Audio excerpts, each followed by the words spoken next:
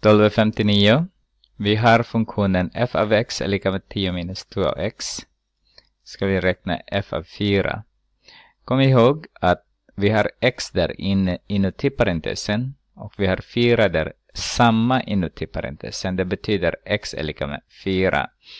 Det betyder också att där kan vi lägga in, sätta in 4 istället av x. Så vi har 10 minus 2 multiplicerar med 4. Så här har vi minus 8. Prioriteringsregel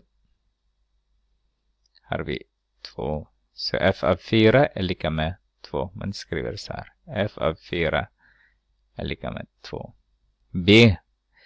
f av x är lika med 4.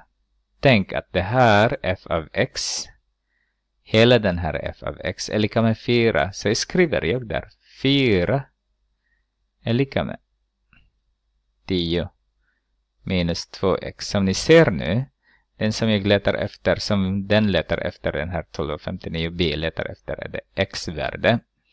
Så har vi negativ 10 där. Negativ 10 motsatserna. Jag vill inte ha dem. Därför jag vill ha bara x kvar där. Så har vi negativ 10, nej negativ 2x, förlåt. Sen negativ 6. Kan vi dividera negativ 2, båda led.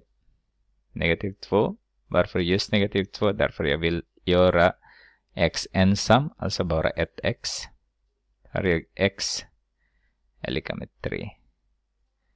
Då har jag x är lika med 3 när f av x är 4.